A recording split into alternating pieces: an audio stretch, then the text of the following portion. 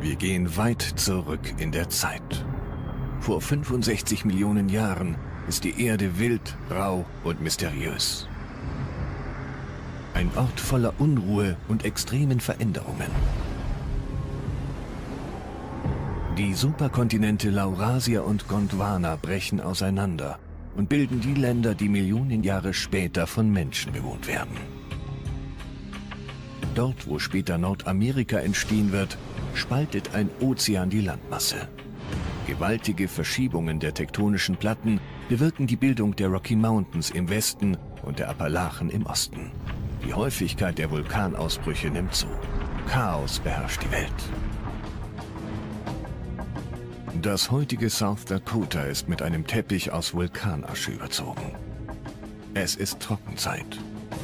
Die Temperaturen erreichen fast 40 Grad. Der hohe Sauerstoffgehalt erlaubt es den Dinosauriern gewaltige Ausmaße anzunehmen. Unter diesen Giganten befindet sich das größte Raubtier der Erde, der Tyrannosaurus Rex. Ihm steht ein gigantischer Kampf bevor. Auf Leben und Tod. Sommer 1998. Im rauen Ödland des nordwestlichen South Dakota führen Amateurpaläontologen eine Ausgrabung durch. Sie machen eine außergewöhnliche Entdeckung. Sie sind über einen prähistorischen Tatort gestolpert.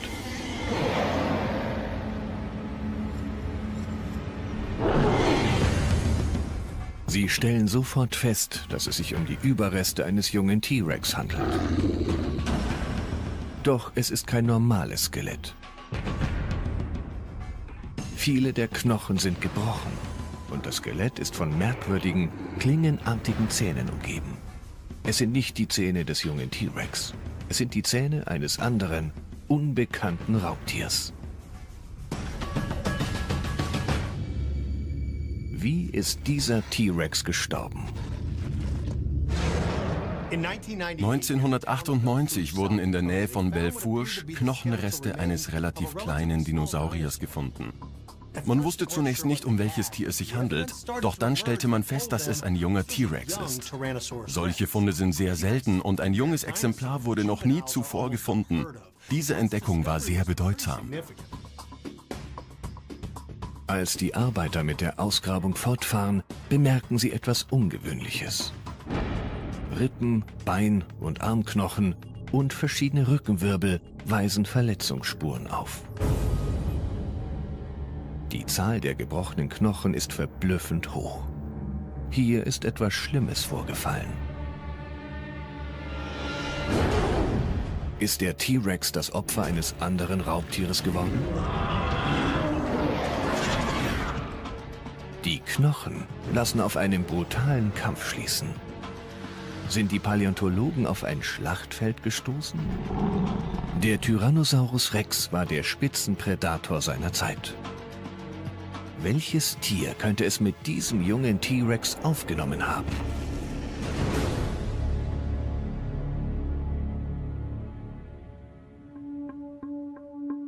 In der späten Kreidezeit gehört der T-Rex zu den gefährlichsten Dinosauriern auf der Erde. Er wiegt bis zu sieben Tonnen, ist fast fünf Meter groß und 13 Meter lang. Damit ist er so groß wie ein Sattelschlepper. Schon alleine seine Größe ist beeindruckend. Doch die moderne Detektivarbeit hat drei weitere einzigartige Eigenschaften aufgedeckt, die ihn zu einer wahren Tötungsmaschine machen. Die erste ist sein Sehvermögen. 2006 scannt Lawrence Whitmer von der Ohio University den Schädel eines Tyrannosaurus Rex. Er entdeckt ein weiteres Puzzleteil. Der T-Rex besaß ein leistungsstarkes binokulares Sichtfeld. Durch die Computertomographie können wir die Größe einzelner Teile des Gehirns ziemlich genau bestimmen. So wissen wir, wie groß die Bereiche sind, die für das Sehvermögen, den Geruchssinn oder das Hörvermögen zuständig sind. Der Tyrannosaurus Rex hat ein binokulares Sichtfeld wie der heutige Adler. Dadurch hatte er die Möglichkeit, ein bewegliches Ziel ständig im Auge zu behalten. In einem Kampf verlor er seinen Feind nie aus den Augen. Der T-Rex hatte mit ziemlicher Sicherheit eine Gesichtsfeldüberlappung. Das bedeutet, er besaß ein flächendeckendes binokulares Sehvermögen. Das Gehirn war so strukturiert, dass es die visuellen Informationen verarbeiten konnte. Die zweite Eigenschaft sind die ungemein kraftvollen Kiefer.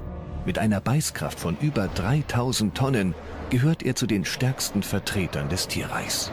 Er hat doppelt so viel Kraft wie ein weißer Hai. Die Kiefermuskeln kontrollierten die Zähne und damit den Schaden, den sie verursachen konnten. Der T-Rex hatte einen sehr ausgedehnten und massiven Schädel. Das bedeutet, dass er auch sehr starke Kiefermuskeln besaß. Durch diese Muskeln konnten seine Zähne durch Knochen stoßen. Diese unglaubliche Kraft hebt ihn von allen anderen Lebewesen ab.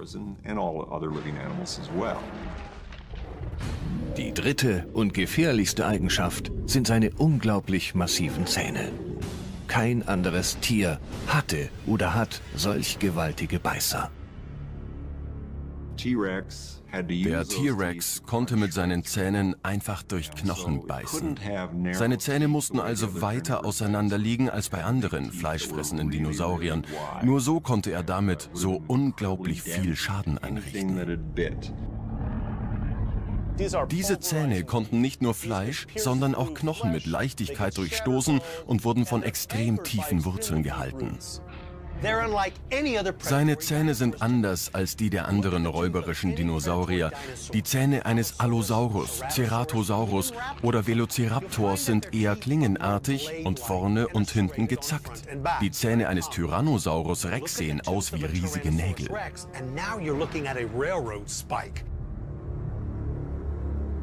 Doch diese Zähne haben noch mehr zu bieten als einen kräftigen Biss. Man nimmt an, dass sie zu den ersten biologischen Waffen aller Zeiten zählen könnten. Als Dr. Whitmer den Schädel untersucht, stellt er fest, dass die Zähne von gezackten Furchen durchzogen sind. Diese Furchen kennt man schon von einem anderen Tier mit tödlichem Biss, dem Komodowaran. Es könnte sein, dass der Tyrannosaurus Rex in diesen kleinen gezackten Furchen kleine Fleischreste einer vorangegangenen Mahlzeit sozusagen deponiert hat. Das Fleisch verrottete und produzierte so jede Menge Bakterien. Er hatte einfach eine extrem schlechte Mundhygiene. Er ähnelte damit dem heutigen Komodowaran, der einen sogenannten septischen Biss hat. that actually has what we call a septic bite. Wenn er ein Tier beißt, infiziert er es automatisch mit den Bakterien in seinem Maul. Es erscheint eher unwahrscheinlich, dass ein Tier, das mit solchen Waffen ausgerüstet ist, angegriffen wird. Selbst bei einem jungen T-Rex. Wer hat es also mit ihm aufgenommen? Um das beantworten zu können, müssen die Paläontologen sich ein Bild davon machen, wie er gelebt und gekämpft hat. Der erste Schritt, die Untersuchung der Umgebung. Das Aussehen dieses Erdteils unterschied sich zur Kreidezeit nicht großartig von Landschaften, die wir heute kennen. Was Klima- und Pflanzenwelt angeht, kann man davon ausgehen, dass diese Landschaft den heutigen Regionen am Golf von Mexiko ähnlich war.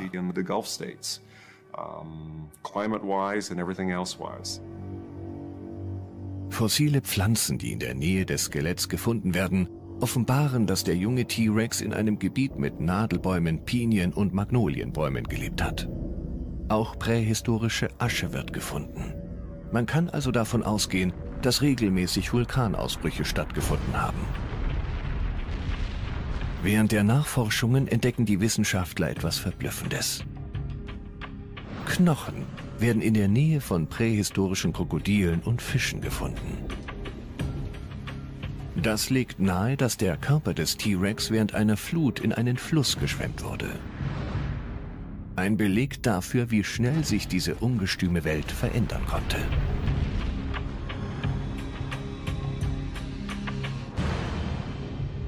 Der zweite Schritt der Untersuchung ist die Verhaltensanalyse eines Tyrannosaurus Rex. Dazu werden Hinweise genutzt, die in den gefundenen Knochen und dem Verhalten heutiger Tiere stecken. So lässt sich nachvollziehen, wie Dinosaurier gejagt, gekämpft oder ihre Jungen aufgezogen haben. Der Tyrannosaurus Rex war der ultimative Aggressor. Er fürchtete sich vor nichts, nicht einmal vor seinem größten Beutetier, dem Triceratops, der riesige respekteinflößende Hörner und einen Nackenschild besaß. Doch kein Dinosaurier stellte für den Tyrannosaurus Rex eine Gefahr dar. Nichts und niemand konnte es mit ihm aufnehmen. Der T-Rex erledigt seine Beute schnell und auf sehr unschöne Art und Weise. Dieses Tier hätte einen Volkswagen zerkauen können. Alles, was in die Nähe seines Maules kam, bekam große Probleme. Sie haben sich in ihrem Opfer festgebissen und es dann regelrecht mit den Zähnen zerfetzt. Knochen, Fleisch und Eingeweide wurden aus dem Körper gerissen. Die Körperteile wurden zermalmt und am Stück geschluckt. Wenn man ihm in die Quere kam, hatte man nicht mehr lange zu leben.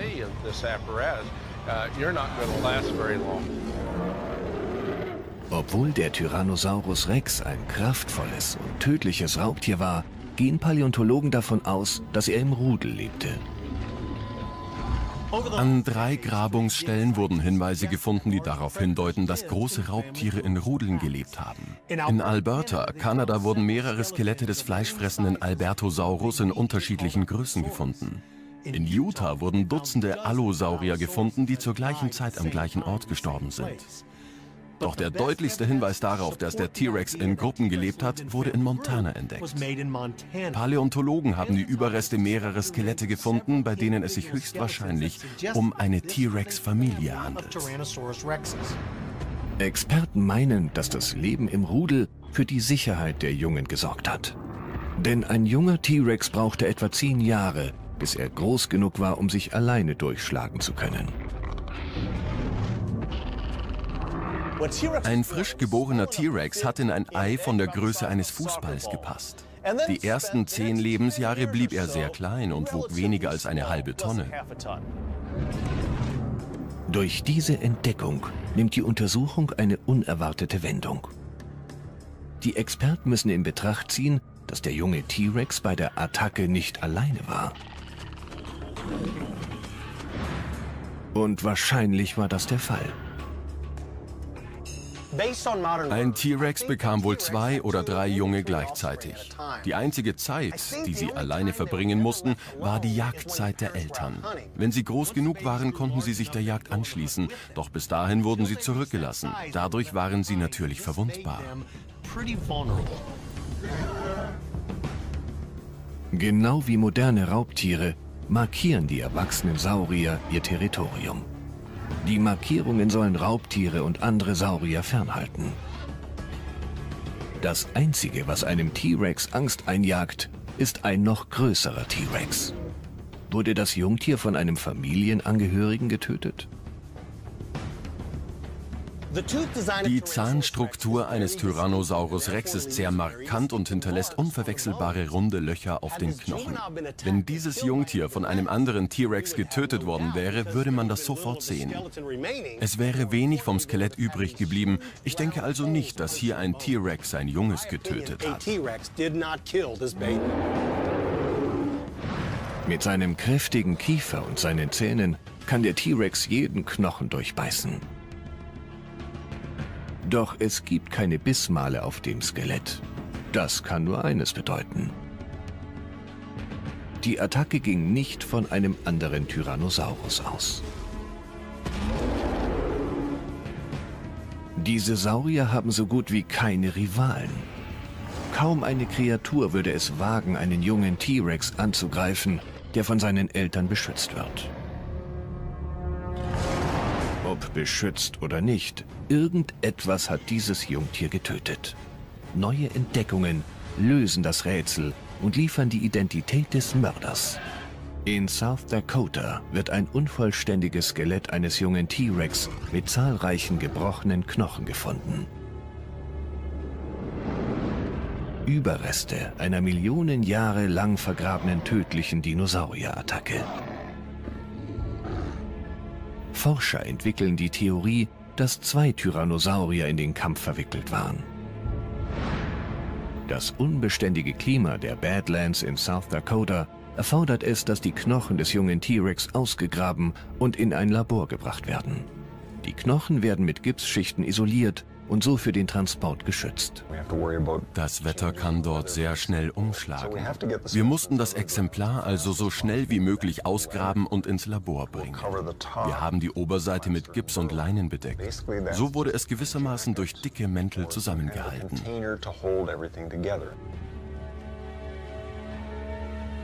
Als die Forscher einen der Gipsmäntel öffnen, bekommen sie ein wesentliches Indiz des Tatorts zu sehen. Die Zähne des Angreifers. Nähere Untersuchungen identifizieren den Verdächtigen. Es ist der Nanotyrannos, eine kleinere Version des Tyrannosaurus Rex. Der Nanotyrannos ist einer meiner Lieblingsdinosaurier. Nanotyrannos bedeutet Zwergtyrann, ein sehr passender Name, denn er war wirklich niederträchtig. Der Nanotyrannus war eine der furchterregendsten Kreaturen, die je gelebt haben. Er kombinierte die Kraft des T-Rex in kleinerem Umfang mit großer Geschwindigkeit.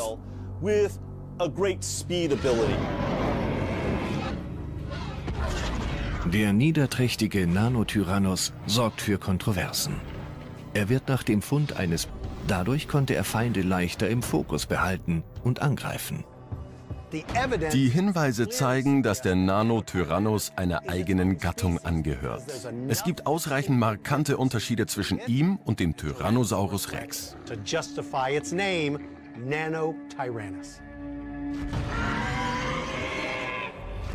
Der Nanotyrannus wird heute als eigene Gattung angesehen. Ein aggressives Raubtier, das junge Tyrannosaurier jagen und töten kann. Er ist 2,30 Meter groß, über 5 Meter lang und wiegt fast eine Tonne. Damit ist er etwa halb so groß wie ein T-Rex und wiegt nur ein Sechstel von diesem. Doch was dem Nanotyrannus an Größe fehlt, gleicht er durch Schnelligkeit aus. Der Nanotyrannus hatte sehr viel längere und schlankere Beine als der T-Rex. Er war aktiver. Der T-Rex konnte zwar rennen, doch er war nicht auf Schnelligkeit ausgelegt. Der Nanotyrannus dagegen war wie ein Gepard auf Steroiden. Diese Tiere waren sehr schnell. Sie konnten einem T-Rex problemlos davonlaufen. Diese Eigenschaft war natürlich auch für den Beutefang nützlich. Sie konnten ihr Opfer umkreisen und zu Tode hetzen. Der Nanotyrannus ist groß genug, um diesen jungen T-Rex zu besiegen und schnell genug, um den Eltern zu entkommen.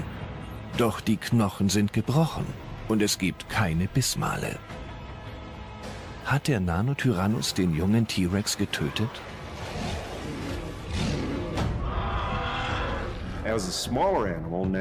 Der kleinere Nanotyrannus hatte nicht die gleiche Beißkraft wie der große T-Rex.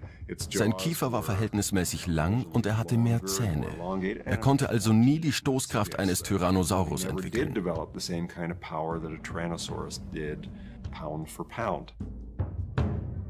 Der Nanotyrannus musste genauer darauf achten, wo er hinbeißt. Er hatte nicht die Knochenbrecherqualität eines ausgewachsenen T-Rex. Das ist der Grund, warum keine Bissmale an den Knochen des jungen T-Rex gefunden werden. Der Nanotyrannus hat nicht die nötigen Kiefermuskeln, um Knochen zu zerbrechen. Genauere Untersuchungen bringen die Forscher der Antwort näher. Als ich die Zähne des Nanotyrannus sah, die neben dem Skelett gefunden wurden, bekam ich eine Vorstellung davon, was passiert ist. Doch ohne Bissmale auf den Knochen konnte man nicht beweisen, dass er das T-Rex-Baby tatsächlich getötet hat. Bei genauerem Hinsehen fiel mir aber auf, dass die Zähne Bruchstellen hatten. Sie mussten also während der Attacke auf den jungen Tyrannosaurus Rex abgebrochen sein. Die Zähne, die in der Nähe des T-Rex gefunden wurden, sind zerbrochen. Geschah das durch einen Kampf oder könnte der Nanotyrannus einfach nur den toten T-Rex gefunden und die Überreste geplündert haben? Der prähistorische Tatort hält die Antworten bereit. Es wird angenommen, dass zwischen 75 und 90 Prozent des T-Rex-Skeletts gefunden wurde. Wenn der Nanotyrannus das Jungtier ausgenommen hätte, wäre wohl der Großteil der Knochen verschwunden. Zumindest wäre das Skelett auseinandergerissen. Doch die Tatsache, dass so viel vom Skelett übrig ist und die Einzelteile alle relativ nah beieinander lagen, zeigt, dass der Nanotyrannus den T-Rex nicht aufgefressen hat but not eating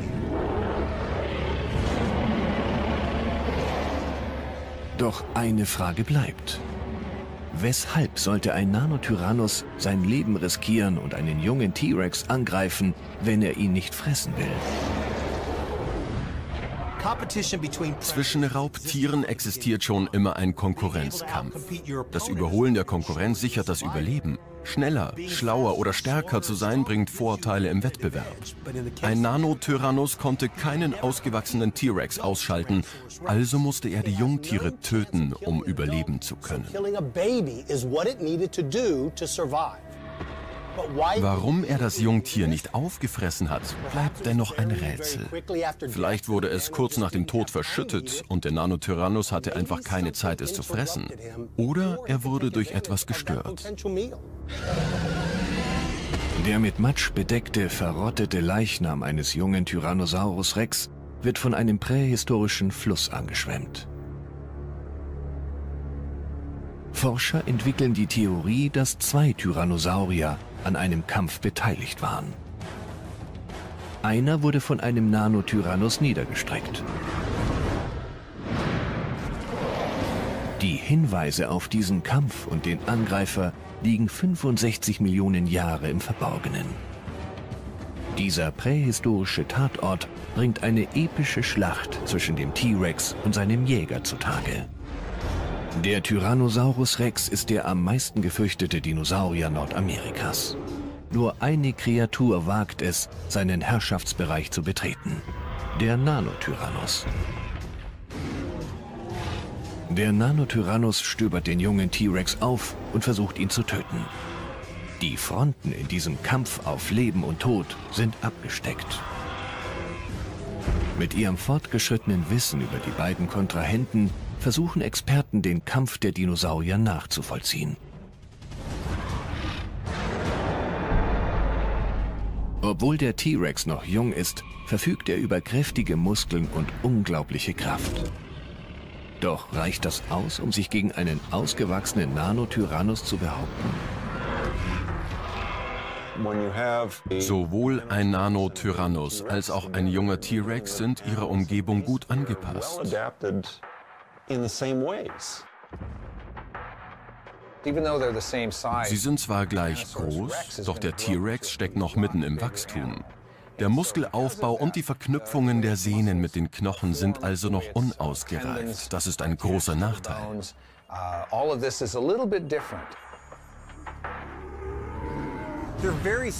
Von der Grundstruktur sind sie sich sehr ähnlich. Sie dürften etwa gleich stark gewesen sein. Der größte Unterschied waren wohl die Erfahrungswerte. Ein Jungtier verfügt natürlich nicht über so viel Erfahrung wie ein Tier, das schon länger durch die Gegend streift. Ein Nanotyrannus würde es nicht wagen, ein Jungtier anzugreifen, wenn ein erwachsenes Tier in der Nähe ist. Die einzige Möglichkeit für einen Kampf besteht also, wenn die Eltern jagen gehen. Das zurückgelassene Jungtier kann sich ohne den Schutz der Eltern nur auf seine abschreckende Größe verlassen. Auch ein kleiner T-Rex ist immer noch ein Kraftpaket. Seine langen Beine geben dem Nanotyrannus einen Geschwindigkeitsvorteil und machen ihn beweglicher. Doch ein junger T-Rex könnte ein gefährlicher Gegner sein, wenn er angegriffen wird. Ein Nanotyrannus und ein unausgewachsener Tyrannosaurus Rex gleicher Größe sind sich in Bezug auf Hintergliedmaßen, Schwanz und Körperproportionen sehr ähnlich. Sie sind sich also hinsichtlich ihrer Geschwindigkeit und Beweglichkeit ebenbürtig.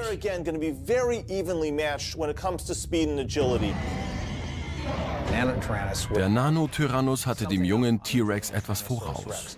Er war nicht nur aufgrund seiner ausgeprägteren Muskulatur etwas wendiger, sondern hatte auch deutlich mehr Erfahrung als das Jungtier. Er konnte also reibungsloser und schneller attackieren als der junge Tyrannosaurus Rex.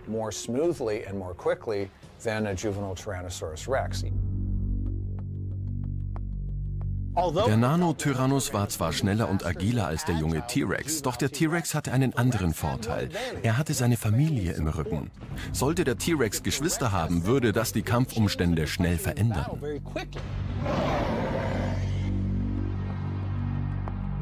Der Unterschied der Zahnstruktur legt auch die unterschiedliche Verwendung der Zähne nahe.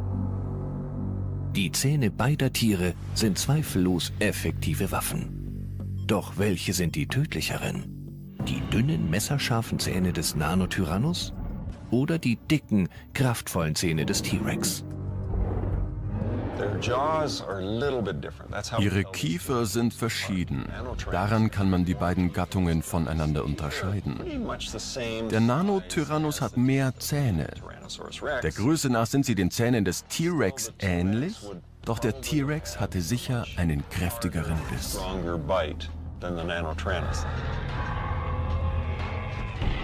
Die Zähne des Nano-Tyrannos sind primitiver aufgebaut. Sie sind klingenartig und sehr dünn. Die Zähne des T-Rex dagegen sind flach, fast schon quadratisch. Das zeigt, dass sie unterschiedliche Essgewohnheiten hatten. Der Nano-Tyrannus hat das Fleisch von den Knochen abgerissen. Der T-Rex hat einfach den ganzen Kadaver mitsamt Knochen gegessen. Das Leben eines Raubtieres hängt von seiner Fähigkeit zu jagen und zu töten ab. Doch es muss sich auch gegen Rivalen wehren. Raubtiere bekämpfen sich seit Anbeginn der Zeit. Man sieht das heute noch an Löwen und Hyänen. Raubtiere dulden keine Konkurrenz in ihrer Umgebung. Jede Möglichkeit, einen Rivalen zu töten, wird wahrgenommen. Ein unbewachtes Jungtier wäre also ein gefundenes Fressen für einen Nanotyrannus, da er so einen Konkurrenten auslöschen könnte.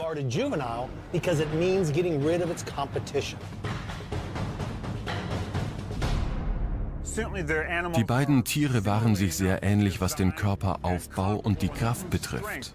Es liegt also nahe, dass der erfahrenere Nano-Tyrannus den jungen Tyrannosaurus Rex besiegen konnte.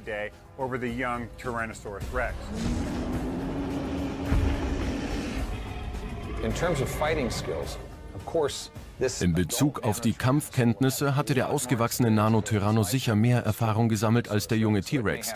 Er war ihm also in diesem Punkt weitaus überlegen. Ein Nanotyrannus war einem jungen Tyrannosaurus Rex mehr als ebenbürtig. Es stellt sich eher die Frage, was der Nanotyrannus mit einem T-Rex anstellt, nachdem er ihn getötet hat. Ihn fressen oder einfach liegen lassen und weiterziehen. Ich würde erwarten, dass der Sieger nach einem aufreibenden Kampf zunächst Kräfte sammeln muss. Also würde er wohl die Nahrungsquelle vor seinen Füßen nutzen. Die Frage, warum er das Jungtier nicht gefressen hat, ist also sehr interessant. Nach dem Kampf muss irgendetwas vorgefallen sein.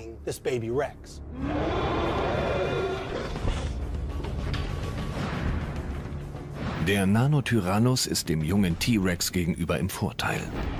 Doch wenn zwei Jungtiere gegen einen Nanotyrannus kämpfen, verändert sich die Dynamik des Kampfes entscheidend. Durch die Untersuchung der Knochenfragmente und Umweltbedingungen, die Computertomographie und das Verhalten heutiger Tiere können Forscher ein plausibles Szenario des Kampfes rekonstruieren. Ein Kampf, der vor 65 Millionen Jahren in South Dakota stattgefunden hat.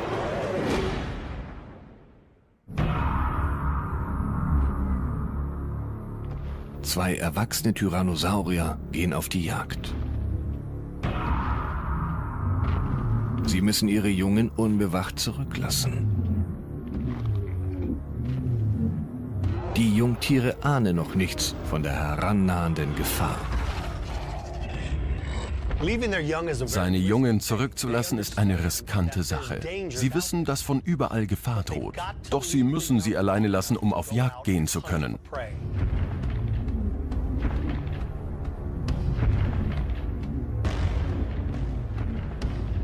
Die Suche nach Beute kann lange dauern.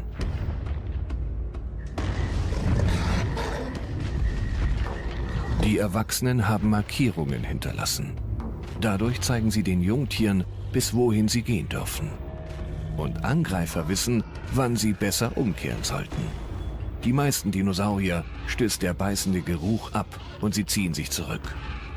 Doch eine Gattung nutzt diese Markierungen als eine Art Zielsucheinrichtung. Der Nanotyrannus jagt und tötet junge Tyrannosaurier, nicht um sie zu fressen, sondern um Konkurrenten loszuwerden. Die beiden Jungtiere sind dem tyrannischen Mörder ausgeliefert. Der Nanotyrannus weiß, dass er es nicht mit einem ausgewachsenen T-Rex aufnehmen kann. Bevor er zum Schlag ausholt, versichert er sich, dass die Erwachsenen auf der Jagd sind. Seine Sinne sind wachsam.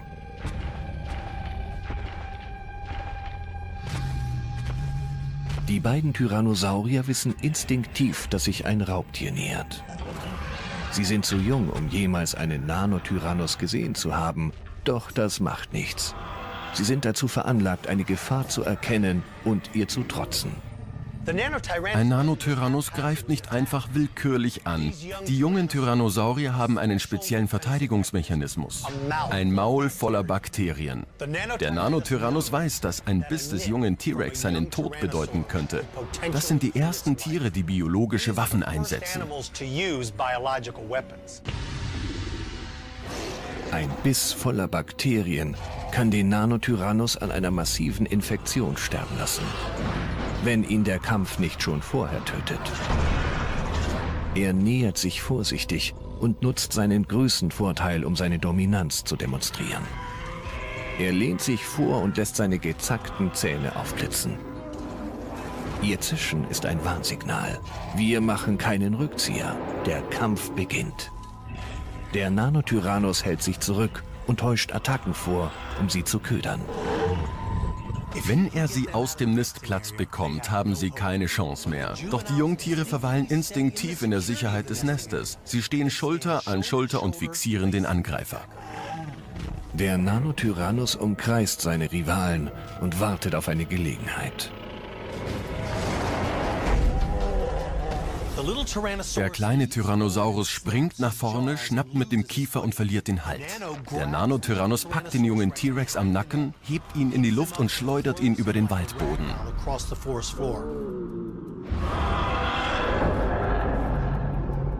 Nun ist nur noch ein Jungtier übrig. Das einsame Jungtier hat keine Chance. Der junge T-Rex hat panische Angst. Er will sich umdrehen und weglaufen, doch sein Instinkt sagt ihm, dass er stehen bleiben soll. Er schreit so laut er kann. Es ist ein Hilferuf. Er hofft, dass seine Eltern ihn schreien hören. Der Nanotyrannus weiß, dass der junge T-Rex Alarm schlägt. Er muss den Kampf nun beenden und schnell verschwinden. Er entscheidet sich für einen Frontalangriff. Der Nanotyrannus greift erneut an und wartet darauf, den Todesstoß durchführen zu können. Er nutzt seine ganze Erfahrung. Der im Kampf unerfahrene T-Rex versucht jeden seiner Schritte auszugleichen.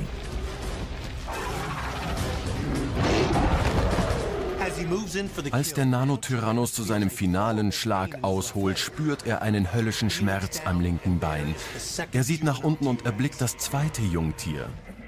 Es hat sich erholt und greift an. Der junge T-Rex beißt den Nanotyrannus ins Bein. Wenn sich die Wunde infiziert, kann das seinen Tod bedeuten. Dieses Mal geht der Nanotyrannus auf Nummer sicher. Er sammelt all seine Kraft im Kiefer und schnappt mit der Kraft einer halben Tonne nach unten. Er bricht dem Jungtier das Rückgrat. Er wirft es auf den Boden und trampelt mit seiner Klaue auf den Körper. Jetzt kann er sich sicher sein, dass der junge T-Rex tot ist. Doch gegessen wird später. Ein T-Rex ist erledigt. Nun setzt der Nanotyrannus zum finalen Schlag an.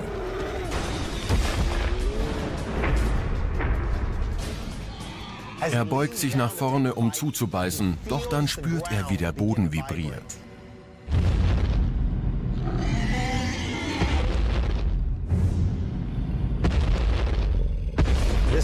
Das ist das Zeichen dafür, dass sich etwas sehr Großes nähert.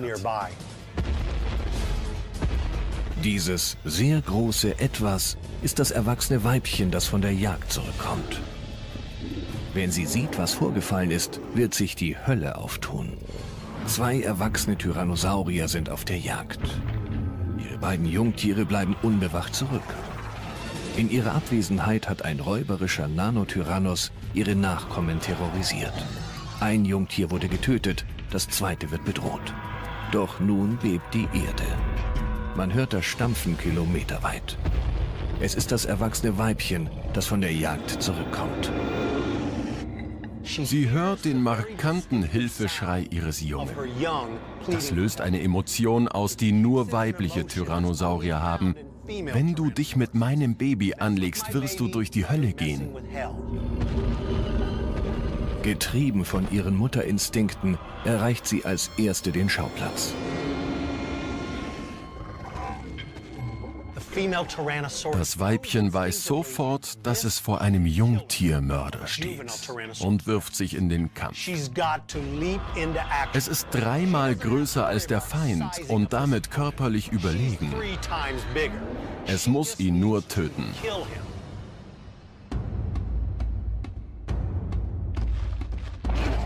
Das T-Rex-Weibchen beabsichtigt, den Nanotyrannus von ihrem überlebenden Jungtier abzulenken. Der Nanotyrannus sieht ihren mächtigen Kiefer und weicht aus. Das Weibchen hat sein Ziel erreicht. Es hat sich zwischen sein Jungtier und den T-Rex-Mörder gestellt. Der Nanotyrannus hat nun zwei Möglichkeiten. Entweder versucht er das überlebende Jungtier zu töten, oder er dreht ab und läuft um sein Leben.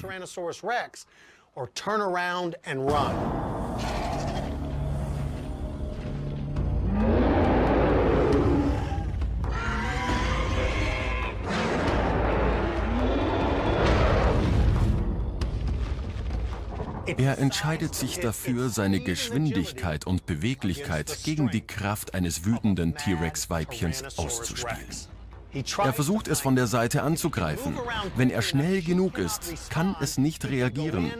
Dann kann er sich mit seiner verlängerten Schnauze das Jungtier schnappen, es zu Tode schütteln und fliehen. Doch der Nanotyrannus unterschätzt seinen Gegner. Mit Adrenalin vollgepumpt dreht sich das wütende Weibchen und verhindert einen Angriff von der Seite.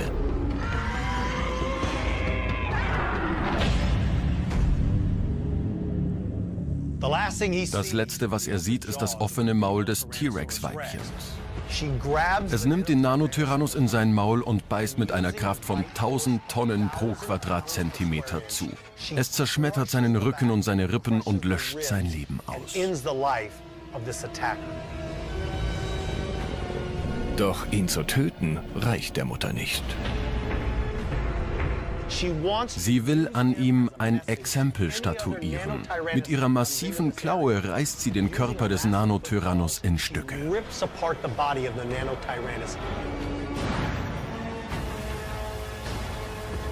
Nachdem sie den Angreifer getötet hat, richtet sie ihre Aufmerksamkeit auf ihr übrig gebliebenes Jungtier.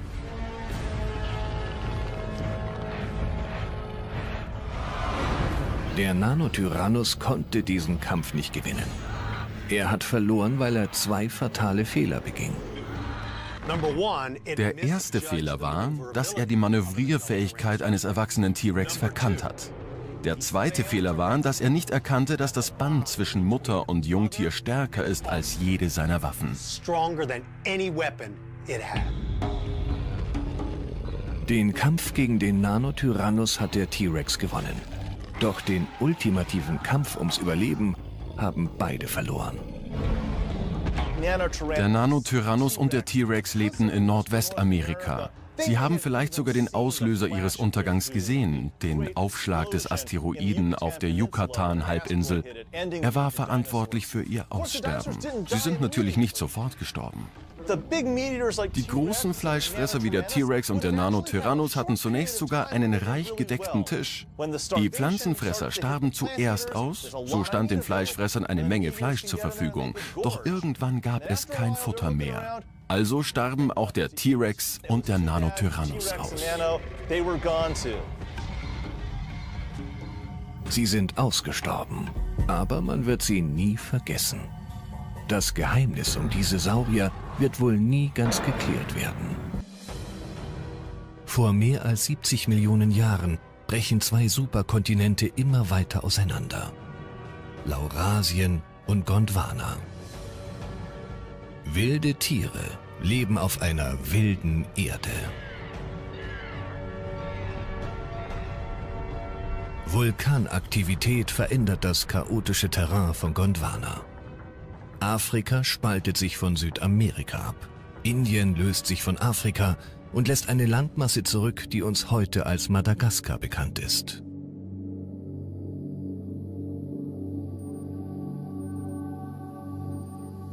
Auf dieser grünen Insel haben saisonaler Regen, extreme Trockenheit und dramatische Temperaturschwankungen die Dinosaurier gegeneinander ausgespielt. In einer Welt der schwindenden Nahrungs- und Wasserreserven werden Jäger in einen Überlebenskampf gezwungen. In der Kreidezeit war das Leben auf Madagaskar hart. Das Weltklima änderte sich und zwang die Dinosaurier zur Anpassung. Je größer die Landmasse, desto geringer war der Effekt dieser Veränderungen. Umgekehrt intensivierten sich diese auf einer kleinen Insel. Um damit umgehen zu können, passten sich die Dinosaurier dort auf eine außergewöhnliche Weise an. 1996 40 Kilometer außerhalb der Stadt Mahajanga im Nordwesten Madagaskars. Paläontologen führen eine Routineausgrabung durch. Dabei machen sie einen ungewöhnlichen Fund.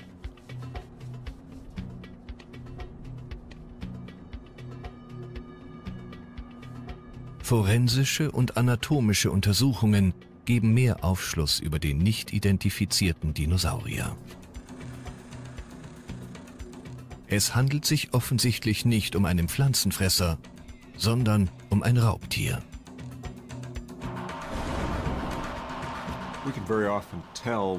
Oft können wir schon anhand der Knochen sagen, ob es sich um einen Pflanzen- oder Fleischfresser handelte. Die Knochen der großen Pflanzenfresser sind hohl. Diese Knochen können nur dann das Gewicht eines Tieres tragen, wenn sie eine bestimmte Dichte aufweisen. Die Paläontologen entdecken etwas Verblüffendes auffällige Schrammen und tiefe Einschnitte im Knochen. Sie sind zwischen 10 und 17 Millimeter voneinander entfernt. Es handelt sich um Bisswunden. Stehen die Paläontologen vor einem 70 Millionen Jahre alten Kriminalfall?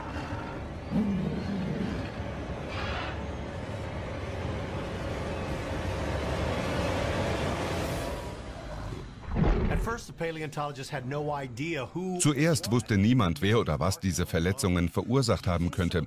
Doch mit denselben forensischen Techniken, mit denen auch heute gearbeitet wird, konnte der Täter von vor 70 Millionen Jahren ermittelt werden. Man wandte sich fossilen Funden desselben Areals zu. Da gab es den sehr gut erhaltenen Schädel eines großen, fleischfressenden Dinosauriers.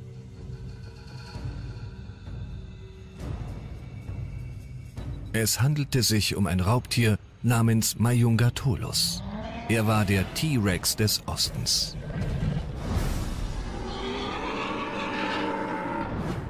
Der außergewöhnliche Fund gab den Wissenschaftlern die Möglichkeit, einen Blick in den Schädel dieses seltenen Dinosauriers zu werfen. Dr. Lawrence Whitmer von der Ohio University ist Leiter des fortschrittlichsten Dinosaurierforschungszentrums der Welt. Dank modernster Technologie kann er weiter in die Geschichte dieser Knochen- und Gehirnhöhlen vordringen, als es bisher möglich war. Die Computertomographie hat eine neue Ebene in der Erforschung des Verhaltens von Dinosauriern erschlossen. Die CT ist eine medizinische Technologie, die uns Einblicke in Objekte gestattet. Wir können sie auch bei Fossilien anwenden, um durch das Gestein die Beschaffenheit der Tiere zu studieren.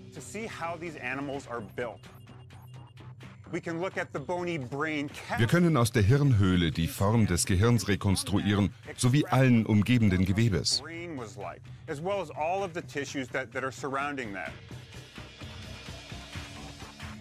Die CT des Mayungatolus-Schädels gibt Aufschluss über jeden Aspekt des Raubtieres, einschließlich Sehfähigkeit, Gehör, Gleichgewichtssinn und Beweglichkeit. Durch den Vergleich der Größe und Form des Gehirns und der Innenohrkanäle mit denen heutiger Vögel und Reptilien erhalten die Wissenschaftler beispiellose Einblicke in das Verhalten des Mayungatolus.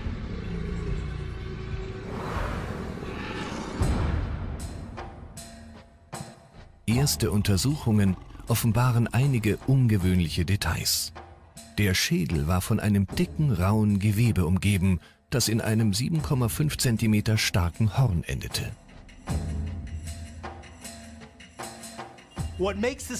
Knubbel, Hörner und Spitzen, die über seinen Schädel verteilt sind, lassen den männlichen Mayungatolus so komisch aussehen. Sie zeigen eventuellen Rivalen, dass sie es mit einem erwachsenen Männchen zu tun haben. Sie helfen auch bei der Partnersuche. Diese Hörner waren wahrscheinlich grell gefärbt, eine Art Make-up, das die Weibchen verrückt machen sollte.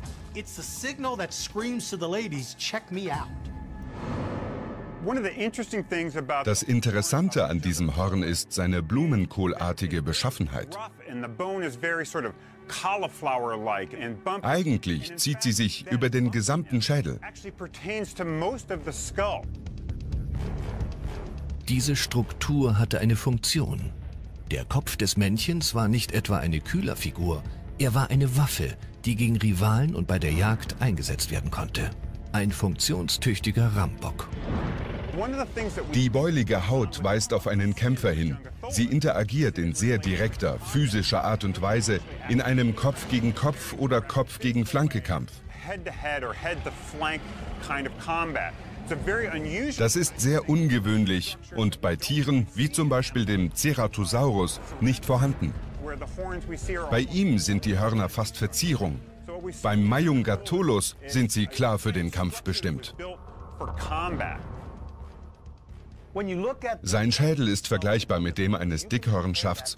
Er ist solide gebaut und kann eine schwere Auseinandersetzung verkraften.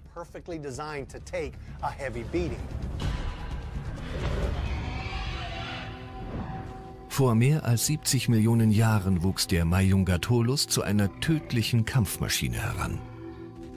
Fossile Funde lassen darauf schließen, dass Madagaskar eine große Pflanzen- und Artenvielfalt vorzuweisen hatte. Der Mayungatolus befand sich an der Spitze dieser Nahrungskette. Das ultimative Raubtier. Jedes Umfeld hat einen Spitzenprädator, ein Raubtier am oberen Ende der Nahrungskette. Was in Nordamerika der Tyrannosaurus rex war, war auf Madagaskar der Mayungatolus.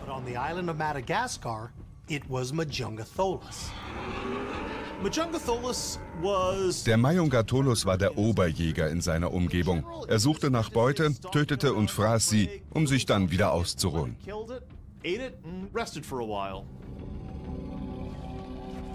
Je mehr Knochen am mutmaßlichen Tatort geborgen werden, desto deutlicher wird die tatsächliche Größe des Mayungatolus. Er stand auf zwei Beinen, war 2,70 Meter groß, 8,50 Meter lang und wog mit einer Tonne in etwa so viel wie ein Elefantenbaby. Neben seiner Größe und dem Rambockartigen Schädel besaß er eine weitere Waffe, die ihn noch gefährlicher machte messerscharfe, mehrfach gezahnte Zähne. Bei näherer Betrachtung der Kiefer fallen die multiplen Zahnreihen auf, die wie bei einem Hai abgenutzte Zähne ersetzten.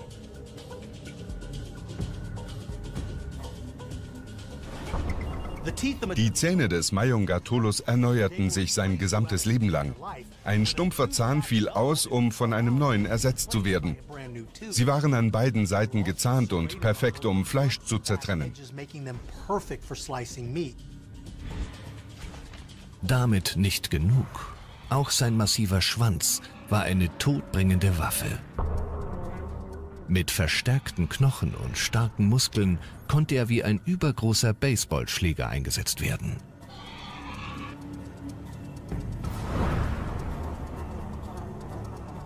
Obwohl mit dem Mayunga Majungatolus nicht zu spaßen war, hatte auch er seine Schwachstellen. Da waren zum einen seine ungewöhnlich kurzen Arme.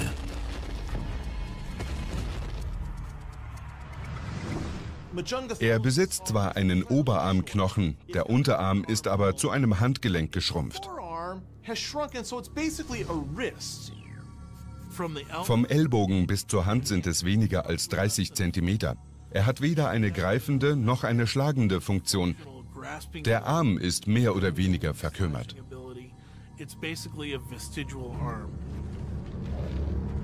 Eine weitere Schwachstelle waren seine relativ kurzen Beine. Die Länge der Beine beeinflusste die Geschwindigkeit eines Dinosauriers. Je länger die Beine waren, desto schneller war er. Der Mayungatolus war nicht auf Geschwindigkeit ausgelegt. Er war zwar relativ schnell, aber kein schnellfüßiger Sprinter wie andere Dinosaurier.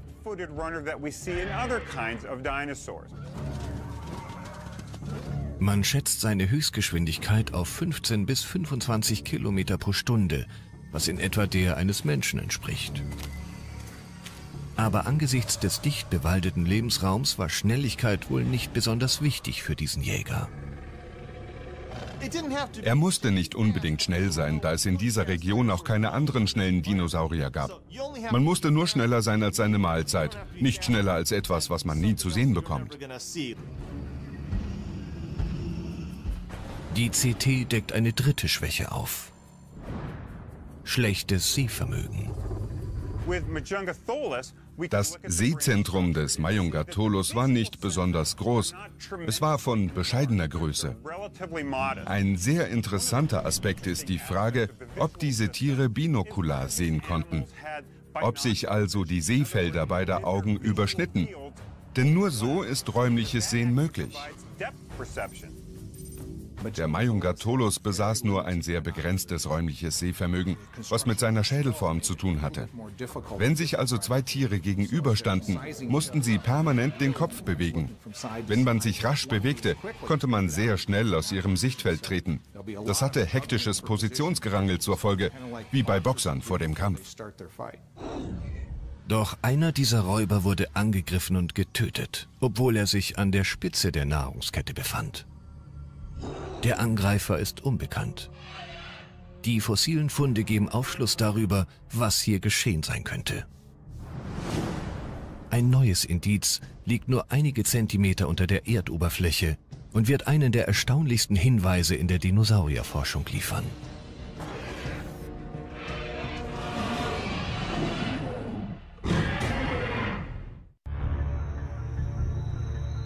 Die Knochen des Mayungatolus weisen tiefe Furchen und Verletzungen auf, die auf einen äußerst gewalttätigen Kampf schließen lassen.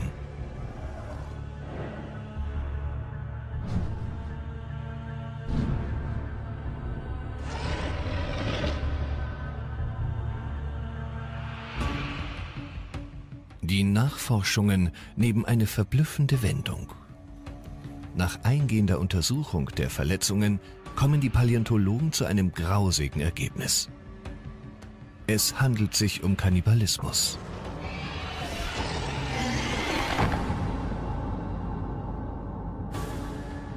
In den Kampf waren zwei Mayungatoli verwickelt, wobei einer den anderen tötete. Der Fund auf Madagaskar bestand aus einem fossilen Mayungatolus-Skelett mit den Bisswunden eines anderen Mayungatolus. In diesem Kampf tötete folglich ein Mayungatolus einen anderen. Man nimmt an, dass die meisten fleischfressenden Dinosaurier Kannibalen waren. Tatsächlich ist dieser Fund aber der erste klare Fall von Dinosaurierkannibalismus. Bei der Untersuchung der Bisswunden wurden Hochleistungsmikroskope verwendet. Die Schnitte legten nahe, dass der Täter gezahnte Zähne hatte und Kiefer, die kräftig genug waren, um diese Knochen durchtrennen zu können. Der Verdacht verfestigte sich, da auf Madagaskar kein anderer Dinosaurier mit Kauwerkzeugen dieses Kalibers gefunden wurde. Die Vermessung der Breite, Länge und Verzahnung der Zähne sowie der Abstände zwischen Zahn und Kiefer des Mayungatolus stimmen perfekt mit den Bisswunden überein.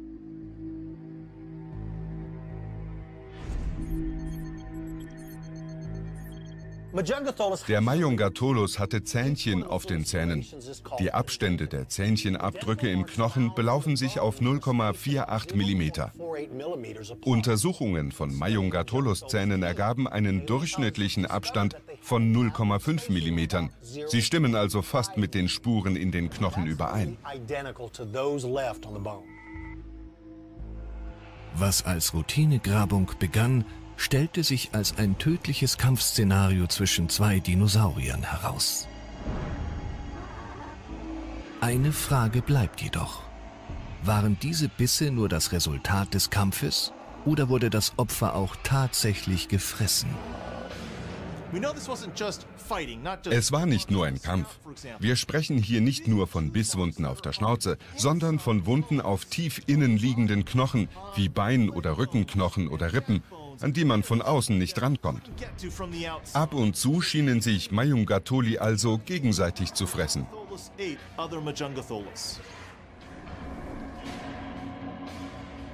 Die Wissenschaftler konnten nachweisen, dass wir es mit Kannibalen zu tun haben. Welche weiteren Anhaltspunkte gibt es für den Kampf der Kannibalen? Zusätzlich zu den CT und fossilen Überresten müssen die Paläontologen modernes Tierverhalten studieren. Die Verhaltensweisen ändern sich im Tierreich nicht. Alle Tiere, einschließlich des Menschen, haben dieselben Grundverhaltensmuster wie ihre Vorfahren. Man kann also heutiges Leben beobachten, um das Prähistorische zu verstehen. Zweifellos war ein Mayungatolus-Männchen ein gefürchtetes Tier.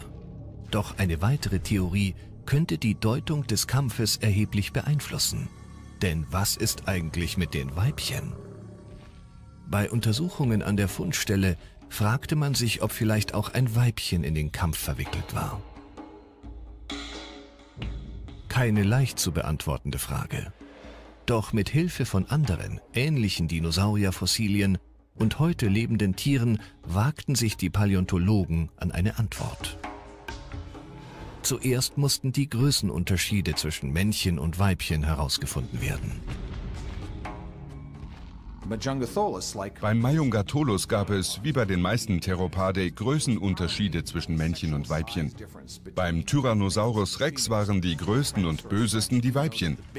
Was den Mayungatolus betrifft, wissen wir noch nicht genug, um zu sagen, ob sie in dieses Schema passen. Auch wenn es einen Größenunterschied gegeben haben sollte, die grundsätzliche Skelettstruktur blieb gleich. Das Weibchen hatte die gleichen kurzen Arme und Beine, die scharfen Zähne und den kräftigen Schwanz. Aber wie hat es sich äußerlich vom Männchen unterschieden? Schauen wir uns verschiedene Arten der Tierwelt an. Männchen und Weibchen sehen unterschiedlich aus. Der Mensch ist da das beste Beispiel. Wir nennen das Sexualdimorphismus. Die Frage ist, ob der Mayungatolus sexuell dimorph war oder nicht. Bei Theropoden-Dinosauriern haben wir für gewöhnlich zwei unterschiedliche Tiere im Erwachsenenalter. Mit unterschiedlichem Gewicht, mit grazilerem oder gröberem Bau und unterschiedlichen Kronen oder Beulen auf dem Kopf, wie im Falle des Mayungatolus. Leider stehen uns beim Mayungatolus und den meisten Theropoden-Dinosauriern nicht sehr viele Unterscheidungsmuster zur Verfügung.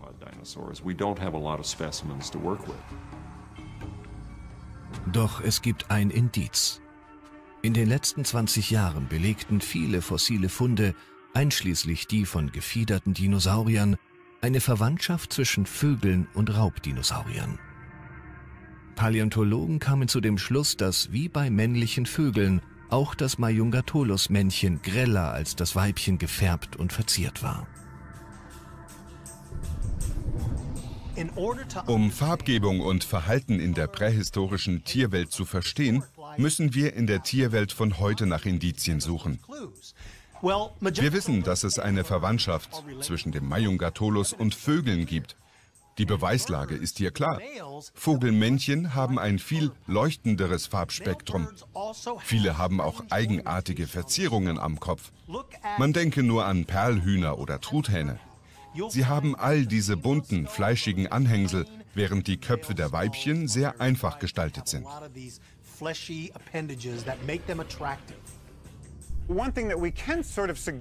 Tiere, die visuelle Elemente trugen, haben diese wahrscheinlich auch eingesetzt.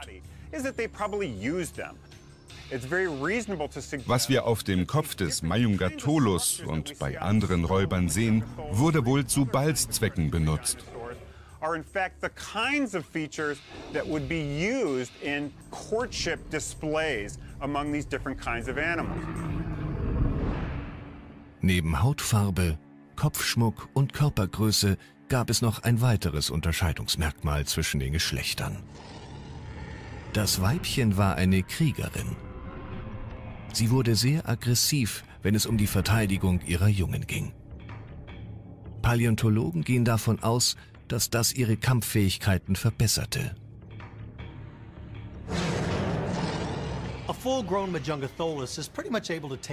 Ein ausgewachsener Mayungatolus kann sich um sich selbst kümmern. Anders die Jungen. Viele Tiere hätten wohl gerne die kleinen Biester umgebracht, bevor sie zu großen Biestern wurden. Damit musste eine Mutter leben. Sie war gezwungen, nicht nur sich selbst, sondern auch ihre Brut vor Räubern zu verteidigen. Das verlieh ihr Kampfeigenschaften, die ein Männchen niemals erreicht hat. Aus Fortpflanzungsgründen dringt ein Mayungatolus-Männchen in das Territorium eines Weibchens ein. Das Weibchen aber hat andere Pläne. Bis es die Absichten des Männchens begreift, ist es bei seiner Annäherung sehr vorsichtig. Um sich zu verteidigen, muss es klare Zeichen setzen und Stärke zeigen. Paläontologen vermuten, dass das Weibchen instinktiv drei markante Schritte einleitet, bevor es zum Angriff übergeht. Zuerst behauptet es seine Stellung. Wenn sich ein Rivale nähert, wird man nicht gleich davonrennen. Erstens verliert man sein Territorium und zweitens könnte man von einem Gegenspieler für eine Mahlzeit gehalten werden. Die Regeln im Tierreich sind klar. Bricht man eine, dann kann das den Tod bedeuten. Im zweiten Schritt dreht sich das Weibchen zur Seite, um dem Männchen seine imposante Größe zu zeigen. Dann bleckt es die messerscharfen Zähne. Ein sehr deutliches Signal für einen Angreifer. Nachdem es dem Rivalen seine Kampfbereitschaft vermittelt hat, liegt es nun an diesem, das Weibchen von seinen freundlichen Absichten zu überzeugen. Eine Paarung kann gefährlich werden, wenn das Objekt der Begierde 7,5 cm lange Zähne und schlechte Laune hat. Zuerst vermutet sie, man will ihr das Territorium abspenstig machen. Er sollte ihr nun schleunigst klar machen, dass er keine Gefahr darstellt.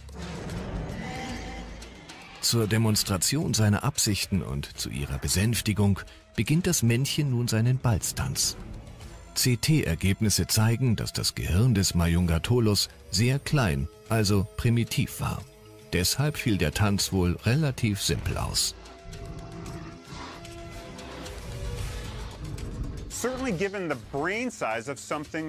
Bezüglich der Gehirngröße des Mayungatolus vermuten wir primitive Balzrituale, wie bei Eidechsen oder Krokodilen heute. Stereotypes, steifes Balzgehabe.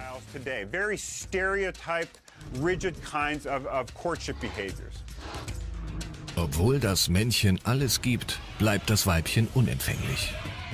Er ahnt nicht, dass er mit dem Teufel tanzt.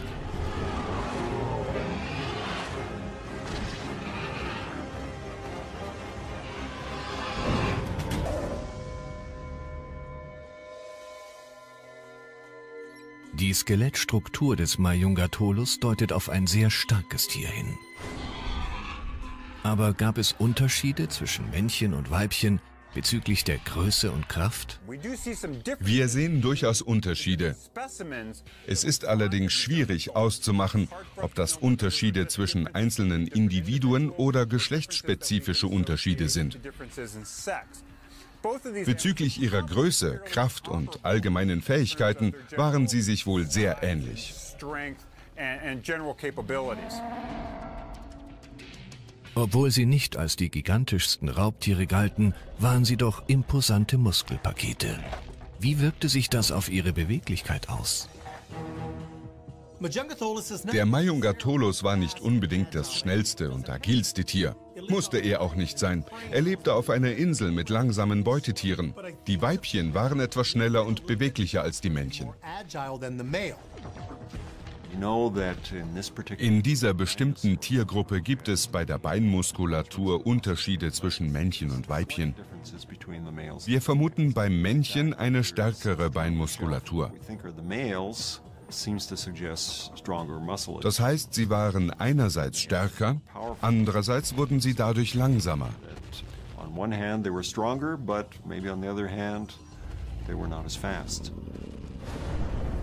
Männchen wie Weibchen besitzen neben ihrem eindrucksvollen Körperbau messerscharfe Zähne und einen geschmückten Kopf, den sie als Rambock verwenden können. All dies kommt in einem Kampf zum Einsatz. Obwohl Männchen und Weibchen unterschiedlich aussahen, besaßen sie doch die gleiche Bewaffnung. Beide hatten die große Beule am Kopf, die als Ramminstrument Verwendung fand. Ihre schlimmste Waffe sind allerdings ihre Zähne. Sie besaßen die gleichen Waffen. Keiner hatte mehr, keiner weniger Zähne und diese hatten dieselbe Beschaffenheit. Der Unterschied lag in dem, was in ihren Köpfen vor sich ging und in ihren spontanen Reaktionen, die sich durch Lebenserfahrung gebildet haben. Beim Angriff eines Gegners agieren die Geschlechter unterschiedlich. Das Männchen eignete sich Jagdtechniken an, um Beute oder eine passende Partnerin abzubekommen. Ein Weibchen hingegen verbrachte mehr Zeit an der Front, um als defensive Kämpferin ihre Brut zu schützen.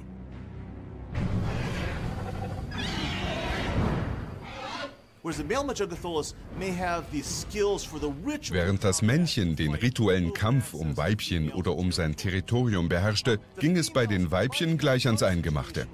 Sie wussten, wie man die Kleinen beschützt und kämpften daher rücksichtslos und grausam.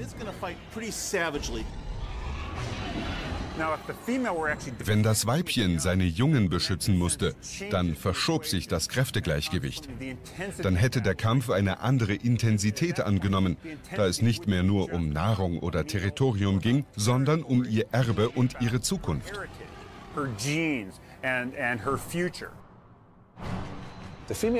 Das Weibchen möchte Leben bewahren. Wenn Junge in der Nähe sind, kämpft sie bis zum Tod.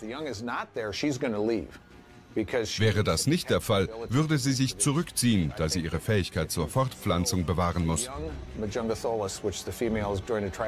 Bringt man ein Junges ins Spiel, ändert das die Situation. Sie wird nicht gehen, bis der Kampf entschieden ist. Sie wird für ihre Nachkommen kämpfen. And she'll fight for that offspring. Das Leben auf Madagaskar war schon für einen ausgewachsenen Mayungatolus ein harter Kampf. Für ein Junges war es ohne den Schutz eines Erwachsenen fast unmöglich. Während der Kreidezeit auf Madagaskar festzusitzen war hart. Alle Dinosaurier waren hier auf engstem Raum zusammengepfercht. Im Gegensatz zum Festland, wo Weibchen ihre Brut während der Jagd auch mal alleine lassen konnten, war auf der Insel das Risiko eines Nestraubes viel zu groß. Und auf ein ungeschütztes Jungtier warteten ungeheure Gefahren. In den dichten Wäldern von Madagaskar lauerten viele Gefahren. Der Isolationismus einer Insel potenzierte diese Gefahren noch um ein Vielfaches.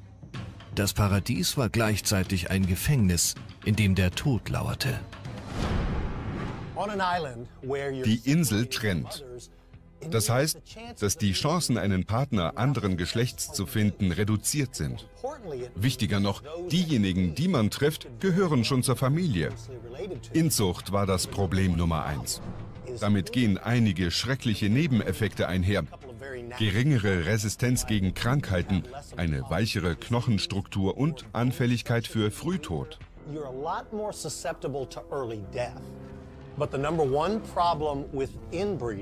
Am schlimmsten jedoch ist die Gefahr der Mutantenbildung. Das hässliche Gesicht des Mayungatolus könnte das Ergebnis von Inzucht gewesen sein. because it was the end result of inbreeding. Mit Hilfe der gefundenen Beweisstücke und der heutigen Tierverhaltensforschung können Experten das Szenario eines Kampfes zwischen einem männlichen und weiblichen Mayungatolus rekonstruieren.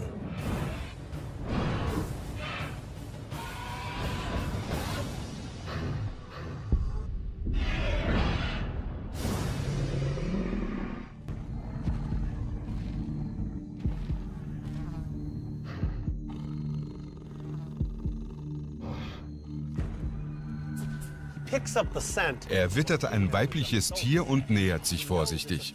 Er weiß, dass es zur Konfrontation kommen kann, falls sie einen Partner hat.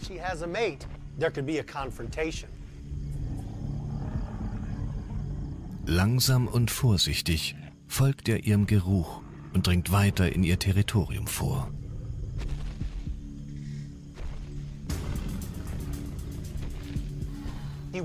Er arbeitet sich ins Zentrum ihres Territoriums vor und findet sie schließlich auf einer kleinen Lichtung, die von dichter Vegetation umgeben ist.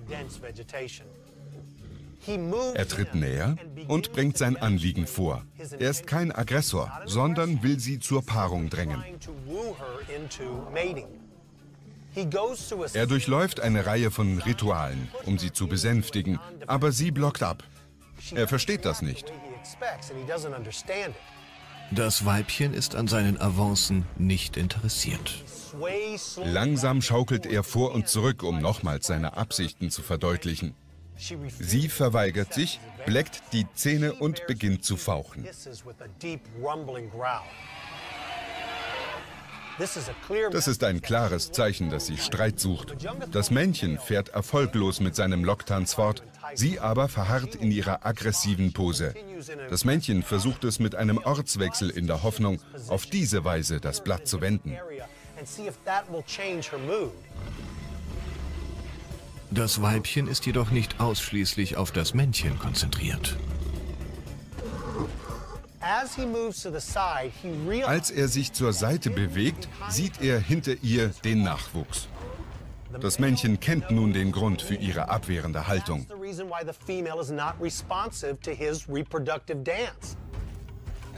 Das Männchen weiß, dass sich nichts ändern wird, solange das Junge am Leben ist. Er muss das Kleine loswerden. Sein Gehirn schaltet von Fortpflanzung auf Töten um. Er muss sich das Junge schnappen, ohne selbst dabei draufzugehen.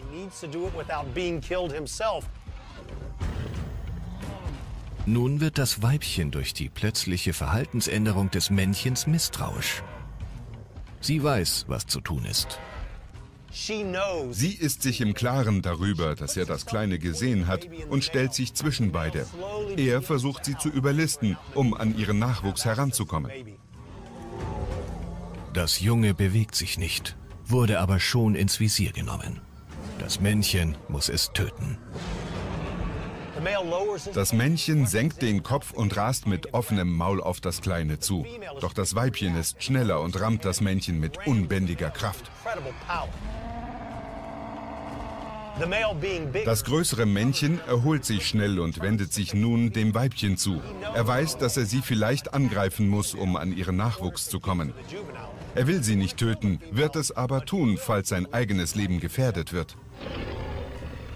Obwohl das Männchen größer ist, wird das Weibchen ihr Junges mit Brutalität verteidigen und bis zum Tod kämpfen.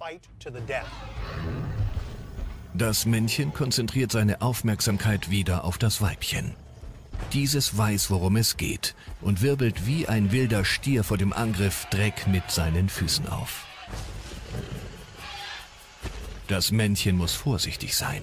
Es weiß, dass eine Mutter extrem gewalttätig werden kann. Doch sein Fortpflanzungstrieb überwiegt. Beide versuchen sich gegenseitig einzuschüchtern, aber es funktioniert nicht. Das Männchen ist auf seine Fortpflanzung bedacht, das Weibchen auf den Schutz ihres Jungen. Das Männchen will töten, das Weibchen beschützen. Das Männchen greift erneut an. Aber das Weibchen dreht sich zur Seite und schlägt den Gegner mit seinem kräftigen Schwanz. Er verkraftet den Schlag und kommt wieder auf die Füße. Er startet einen weiteren Frontalangriff, den sie abermals erfolgreich vereitelt. Das Männchen versucht nun, sie weiter von ihrem Jungen wegzulocken. Er startet einige Scheinangriffe und zieht sich sofort wieder zurück. Als sie weit genug entfernt ist, greift er frontal an. Sie verliert die Orientierung. Sie stolpert über einen Stamm und fällt zu Boden. Das ist die Gelegenheit, auf die er gewartet hatte. Das Weibchen beging einen fatalen Fehler. Es war so sehr auf die Verteidigung seines Jungen konzentriert, dass es die Orientierung verlor. Ein großer Fuß wie der eines Mayungatolus muss mit Bedacht aufgesetzt werden. Das Männchen nutzt nun die Gelegenheit. Er kommt auf das schutzlose Junge zu. Die Mutter ist kurzzeitig außer Gefecht gesetzt und er wittert seine Chance. Er packt das Kleine mit seinen messerscharfen Zähnen. Das Männchen hat sein erstes Opfer auf dem Gewissen. Aber dieser Kampf ist noch nicht beendet.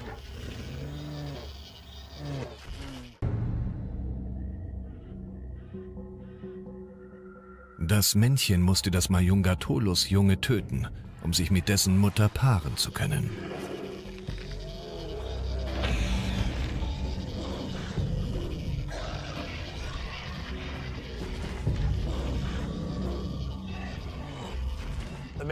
Er hat das Junge im Maul.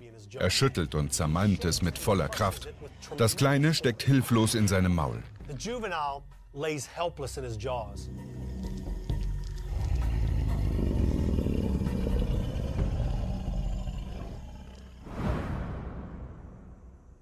Für einen kurzen Moment herrscht Stille im Dschungel.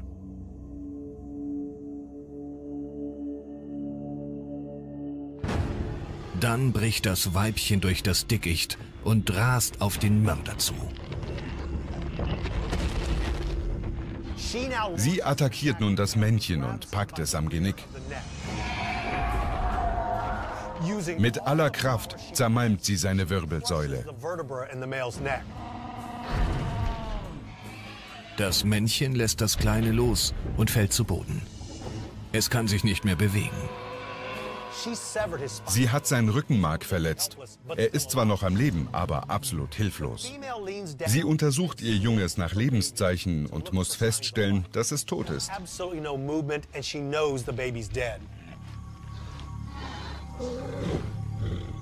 Sie riskierte ihr Leben, um das Junge zu retten. Das bedeutet jedoch nicht, dass sie zur Trauer fähig wäre. Ein Dinosauriergehirn funktioniert wie ein Lichtschalter. Es gibt entweder an oder aus. Sie können nicht an zwei Dinge gleichzeitig denken und leben nur im Moment. Als sie den Tod ihres Jungen begreift, schaltet sie von Mutterschaft auf Nahrungsaufnahme um. Jetzt sieht sie ihr totes Baby als Futterquelle. Sie muss die verbrannten Kalorien wieder ergänzen und wählt das Kleine als Vorspeise. Das Männchen ist das Hauptgericht.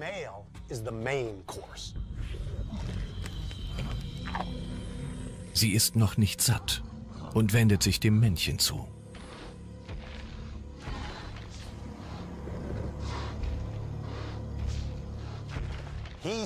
Er lebt noch, kann sich aber nicht bewegen. Die perfekte Beute. Er wird bei lebendigem Leibe gefressen. Sie lehnt sich über ihn, reißt ihm den Bauch auf und gibt sich weiter ihrem Blutrausch hin.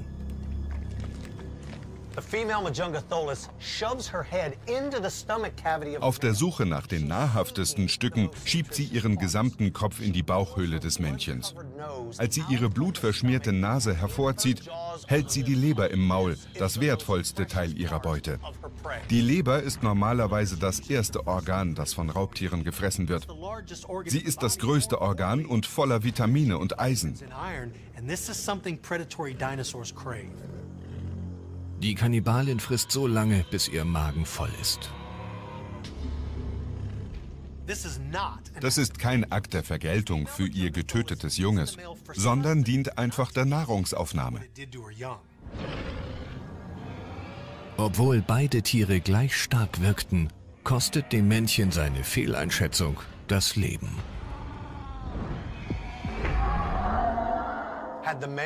Hätte er das Junge unbewacht aufgespürt, hätte er es getötet. Bei seiner Rückkehr wäre das Weibchen sofort in den Fortpflanzungsmodus gegangen, da es kein Junges mehr zu bewachen gehabt hätte. Doch da es im Moment des Tötens zugegen war, griff es sofort das Männchen an, um sein Kleines zu retten.